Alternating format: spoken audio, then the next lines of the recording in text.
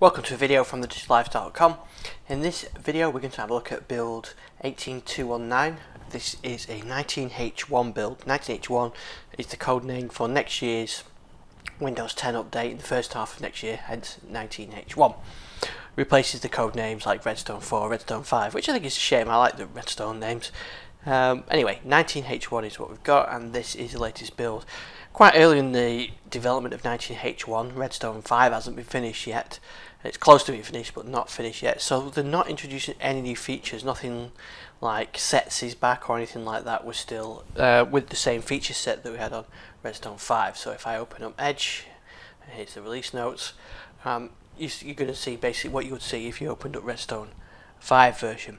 There are some fixes, like it's saying on here about uh, searching with um, in Notepad. They've uh, some control zero to zoom zooming in notepad that kind of thing there's some Microsoft Edge improvements there um, they've removed some of the uh, Windows mixed reality known issues which is good um, so I think the overall this build is actually pretty stable but like I said it's early in the development so it could be that they introduce new features like sets or, um, or something totally new and that could really mess up your system. So just don't go put this on your production one yet.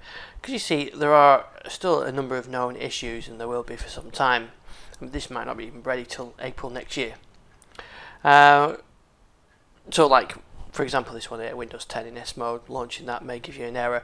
That error has actually been fixed in the Redstone 5 branch, uh, but the fix hasn't come through to this one yet. So they're kind of at this stage at the moment where uh, some things are fixed on Redstone 5, some things aren't fixed on here, and then once Redstone 5 finished, all the work continues on here, and then this will see all the changes. So that's all the changes actually that are in this build. It, it, there's nothing, uh, nothing particularly new on there. I think we'll see sets back soon. Um, maybe in the next few builds we might see that back. Anyway, so that's it. So that's 18219 for Windows Insiders on the fast ring with the skip ahead option. So this is the skip ahead option. You'll get that.